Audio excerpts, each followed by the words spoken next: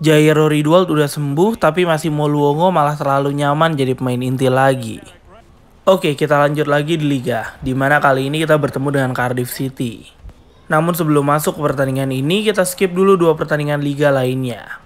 Di mana di pertandingan pertama Jong Indo tetap mampu melanjutkan tren positif dengan berhasil mengalahkan Reading bahkan berhasil mendapatkan clean sheet pertama kita di musim ini dengan skor 3-0.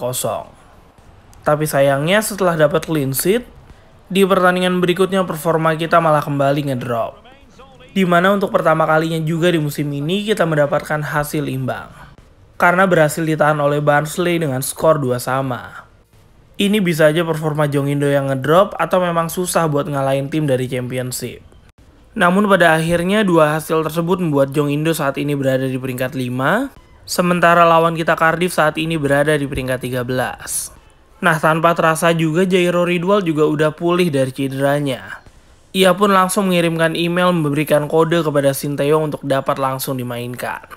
Tapi ternyata masih Moluongo juga mengirimkan email kepada Sinteyong yang menginformasikan dirinya juga masih mau dimainkan di pertandingan ini.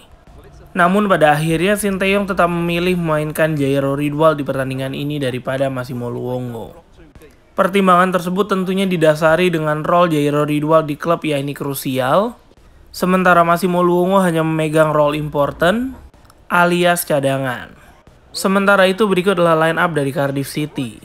Jujur kalau gue sendiri cuma tahu berapa nama nih, yakni Jorals, dan juga striker wonderkid dari Spurs yang dulu pernah dipinjamkan ke Tranmere Rovers Kion ETT, yang saat ini berada di bangku cadangan Cardiff City. Oke, kita langsung mulai aja pertandingannya. Di mana di menit 11 sang tuan rumah berhasil unggul terlebih dahulu melalui striker mereka Mark Harris memanfaatkan umpan silang dari sayap kanan yang mengecoh Emil Laudero. 1-0 Cardiff unggul atas Jong Indo. Untungnya 6 menit kemudian tepat dari menit 17, Jong Indo langsung bereaksi melalui Luis Bryan. Mendapatkan crossing matang dari Kevin Dix di sayap kanan, Luis Bryan mampu mengontrol bola dengan baik hingga akhirnya melakukan finishing dengan cara yang luar biasa, yakni dengan melakukan chip kepada kiper Cardiff City. Bryan pun berhasil menyamakan kedudukan menjadi satu sama.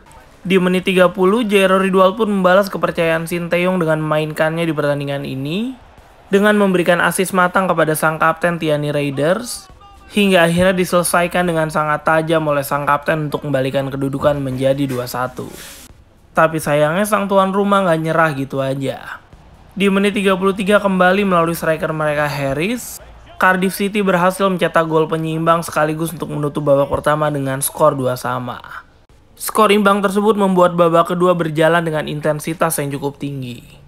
Karena sangat merepotkan, Harrison pun sampai mendapatkan tackle keras dari Messi Legars. Hingga akhirnya aksinya tersebut pun harus dihukum kartu kuning oleh sang wasit. Tapi kadang-kadang permainan keras kayak gini emang dibutuhkan nih guys. Untuk sedikit menjatuhkan mental lawan, apalagi yang lagi on fire kayak gini. Tapi masalahnya di saat mental Hari sudah berhasil kita jatuhkan, justru kapten mereka Jorals yang berhasil mencetak gol. Kali ini memanfaatkan kesalahan yang dilakukan oleh J.I. Pada akhirnya Cardiff pun berhasil memimpin pertandingan kembali dengan skor 3-2. Tapi tim asuhan Sinteyong juga tentunya nggak nyerah gitu aja di mana melalui kapten baru kita Tiani Raiders, pada akhirnya Jong Indo berhasil menyamakan kedudukan kembali melalui power shot yang dilakukan dari luar kotak penalti. Raiders pun berhasil mendapatkan gol keduanya di pertandingan ini. Sinteyong pun melakukan perubahan dengan memasukkan Kasan Wiryo dan juga Devinson untuk menggantikan Jairo Ridwald yang mungkin belum fit 100%. Dan ternyata perubahan tersebut pun memberikan dampak. Karena di menit 74 Jong Indo mampu membalikan kedudukan kembali melalui sundulan dari sayap kanan kita Miliano Jonathan untuk merubah skor menjadi 3-4. Keberhasilan dalam membalikan kedudukan ini pun langsung membuat Sinteyong melakukan perubahan kembali. Kali ini dengan memasukkan Nunu Mete, Julian Sanders, dan juga Urat Mangun. Dan ternyata sekali lagi pergantian pemain yang dilakukan oleh Sinteyong terbukti benar-benar efektif. Karena di menit 90 di saat main Cardiff mencoba untuk menyamakan kedudukan kembali, Julian Sanders justru berhasil keluar menjadi super sub dengan mencuri gol di akhir untuk menutup pertandingan dengan skor 3-5 bagi kemenangan Jong Indo. Tiani Raiders pun keluar menjadi pemain Jong Indo dengan rating tertinggi di pertandingan ini dengan dua golnya, Disusul oleh Kevin Dix dengan dua asisnya dan juga Julian Sanders yang berhasil menjadi super sub. Sementara itu kemenangan ini membuat kita naik ke peringkat 3. Wah Burnley sama Brentford kayaknya udah mulai gemeter nih guys ngeliat performa dari Jong Indo. Performa gemilang Kevin Dix tersebut membuat dirinya menjadi kandidat pemain terbaik EFL Championship di bulan September. Namun sayangnya penghargaan tersebut pada akhirnya dimenangkan oleh Scott pemain dari Bristol City.